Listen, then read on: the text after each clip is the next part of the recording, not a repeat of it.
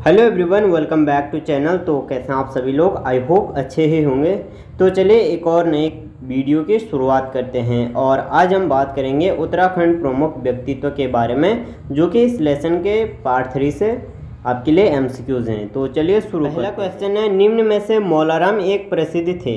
तो option number A इसमें आपका सही आंसर है चित्रकार के। मौलाराम जी एक चित्रकला के लिए प्रसिद्ध थे। बाकी इनके बारे में मैंने आपको पहले ही एक्सप्लेन कर रखा है तो आप लोगों ने वो वाली वीडियोस मिस कर दिए तो आप चैनल पर विज़िट करके उन वीडियोस को देख सकते हैं। अगला क्वेश्चन है, निम्न में से सही युग्म का चयन कीजिए।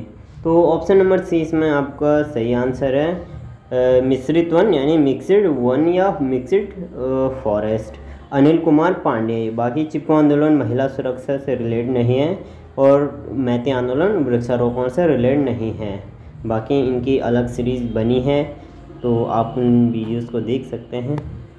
और अगला क्वेश्चन है, पुष्पेश पंत को किस क्षेत्र में जाना जाता है? तो उन्हें जाना जाता है अंतर्राष्ट्रीय मामलों के विशेषज्ञ। यानी आपका सही उत्तर आ जाएगा ऑप्शन नंबर डी अंतर्राष्ट्रीय मामलों के विशेषज्ञ में पुष्पेश पंत को जाना जाता है। अगला क्वेश्चन है, उत्तराखंड की प्रथम महिला पुलिस महानिदेशक थी। ऑप्शन नंबर बी इसमें आपका सही आंसर है, कंचन चौधरी भट्टाचार्य जी, उत्तराखंड की प्रथम महिला पुलिस महानिदेशक थे। और अगला क्वेश्चन है, निम्न में से सही युग्म का चयन कीजिए। तो इसमें जो आपका सही आंसर है, वो है ऑप्शन नंबर सी ए और बी दोनों। यानी बद्री दत्त पांडे का अन्य नाम था, कुमाऊं केसरी, इंद्रमणि बडोनी का अन्य नाम था उत्तराखंड का गांधी, पिछले पार्ट में ये क्वेश्चन भी आया था कि उत्तराखंड का गांधी किसे कहा जाता था?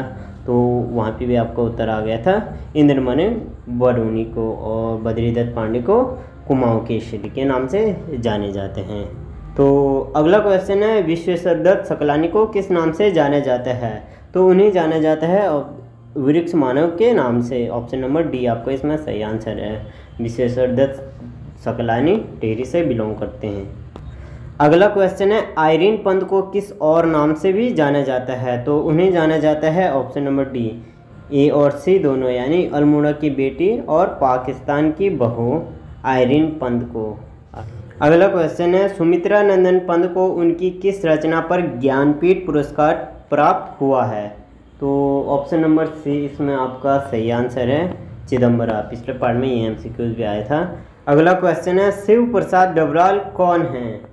तो वो हैं एक इतिहासकार शिव प्रसाद डबराल, एक इतिहासकार है। और अगला क्वेश्चन है, तारादत्त गैरोला निम्न में से कौन है? तो वो एक अधिवक्ता हैं।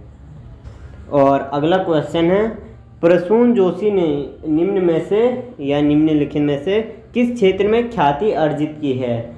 तो ऑप्शन नंबर बी आपका सही आंसर है, फ़िल्म तथा मनोरंजन में उन्होंने ख्याति अर्जित की या प्राप्त की। अगला क्वेश्चन है पद्मश्री सम्मानित गौरव पंत थी। तो ये क्या थी? यानी ऑप्शन नंबर ए आपका, इसमें सही आंसर आ जाएगा लेखिका। और अगला क्वेश्चन है, निम्न में से किनका कार्य जौहर घाटी से संबंधित है? तो ऑप्शन नंबर ए इसमें आपका सही आंसर आ जाएगा। डॉक्टर शेर सिंह पांगती, जो कि जौहर घाटी से संबंधित है इनका कार्य। अगला क्वेश्चन है, सुमन स्मृति ग्रंथ किताब किसके द्वारा लिखी गई है? तो वो लिखी गई है डॉक्टर भक्त दर्शन द्वारा। आपके लिए अगला क्वेश्चन है बद्री दत्त पांडे का संबंध किस समाचार पत्र से है? तो उनका जो संबंध है वो है अल्मोड़ा अखबार समाचार पत्र से बद्री दत्त पांडे का संबंध है। अगला क्वेश्चन है इनसाइक्लोपीडिया ऑफ़ उत्तराखंड किससे कहा जाता है? तो ऑप्शन नंबर बी इसमें आपका सही आंसर आ जाएगा शिव प्रसाद डबराल। ओके तो ये आपका इसमें सही आंसर है।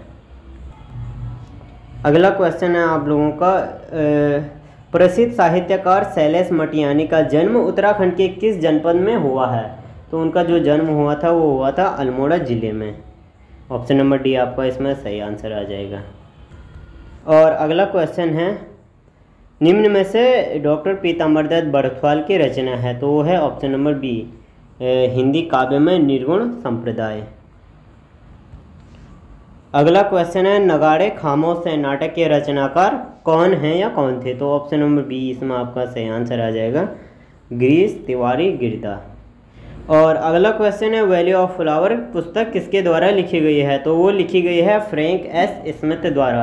ऑप्शन नंबर बी इसमें आपका सही आंसर आ जाएगा। तो दोस्तों होपफुली आप सभी लोग यहाँ तक जुड़े हुए होंगे और आपको वीडियो पसंद आई होगी। पसंद आए है तो लाइक कीजिए कमेंट कीजिए और अपने दोस्तों के साथ शेयर कीजिए। Thanks for watching stay connected stay blessed